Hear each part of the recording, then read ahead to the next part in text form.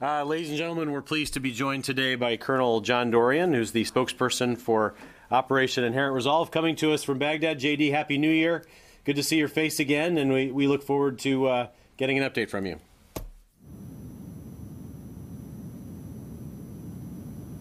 Outstanding. Good morning. Happy New Year, everyone. We'll start in Syria. We'll move to Iraq. In Syria, the Syrian Democratic Forces, led by their Syrian Arab coalition, are continuing their advance to isolate Raqqa along two axes, supported by coalition forces providing advice and assistance, and coalition air power delivering coalition uh, delivering counter ISIL strikes to Raqqa's north and west. Since this current phase began on December 9th. The SDF have liberated more than 500 square miles of Syrian land, home to tens of thousands of people who have been brutalized by ISIL's rule. Coalition airstrikes removed a significant number of ISIL fighters, more than 70 vehicles and 200 fortifications from the battlefield. This degrades ISIL's ability to maneuver and defend the occupied cities. Of these strikes, more than 100 have taken place in the vicinity of Tabqa Dam, killing many ISIL fighters, including Abu Jandal al Kuwaiti. As you know, Kuwaiti, a prominent foreign fighter and leader, had been sent to improve ISIL's control in the region in the face of SDF's advance. Recovering the Tabqa Dam from ISIL will result in return uh, Syria's largest dam to the Syrians further allowing them to reclaim their homes and their liberty. We're working with our SDF partners to ensure the dam is effectively and safely recovered. ISIL has used the dam as a headquarters, a prison for high profile hostages, and a training and indoctrination area for leaders since they seized control of it in 2013. Loss of this key terrain will damage the enemy's prospects and legitimacy as they continue to lose territory. In Iraq, Iraqi security forces have made significant progress since initiating phase two of their operation to liberate Mosul on the 29th of December. For phase two, Iraqi forces synchronized simultaneous attacks from three axes into the city with elements of the Iraqi Counterterrorism Service, the Iraqi Army, and the Iraqi Federal Police conducting the operation. What we're finding is that the synchronized attacks present the enemy with more problems than than they can solve, and the Iraqi security forces are making progress with the continued benefit of coalition strikes and advisors. The axes are beginning to converge as the Iraqis take, make progress toward the Tigris.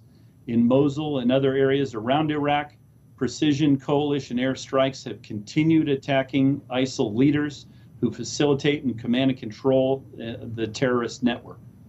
The latest examples are three ISIL facilitators and terrorist leaders from occupied cities. I can confirm the deaths of Imad Abdullah Hamad al Mahalawi, Abu Turk, and Falah al Rashidi. Al Rashidi, struck in December 4th in Mosul, was an ISIL leader who was involved in ISIL's use of VBIDs in Mosul. His, remo- his removal further degrades ISIL's VBID threat which has been the enemy's weapon of choice for attacking Iraqi security forces and civilians. Al Mahlawi struck December 21st in Al Qaim, was a legacy Al Qaeda Iraq member serving as an ISIL leader in Al Qaim. His removal will disrupt ISIL's ability to conduct operations along the Euphrates River Valley. This is significant because as ISIL continues to lose population centers, they want to transition towards spoiler attacks in the outlying areas of Iraq and Syria. The loss of Mahlawi degrades ISIL's ability to make that transition. Abu Turk, struck on December 4th in Sharqat, was an ISIL financial facilitator in Khanfousa, Iraq, who had connections to ISIL leaders and facilitated funds to the group. He was killed by an airstrike while fighting from the rooftop position in Sharqat where he and several other fighters were moving a heavy weapon to fire upon partner forces. His removal increases pressure on the ISIL financial network, which is already severely disrupted by several hundred strikes on oil infrastructure and bulk, bulk cash sites. Finally, I want to show you an important example, of the impact of strikes against the enemy's networks. If you would, please bring up that image. The image that you're seeing now is a screen capture from an ISIL Amaq news propaganda video decrying a recent coalition strike against a vehicle that the enemy had been using to transport weapons. The enemy was trying to accuse the coalition of attacking near a protected site. However, they neglected to notice that their own propaganda video confirms the presence of the recoilless rifles that we observed them firing at the ISF. As you recall, the coalition is heavily targeted the ISIL propaganda machine. This is what happens when the enemy relies on less capable people as their subject matter experts.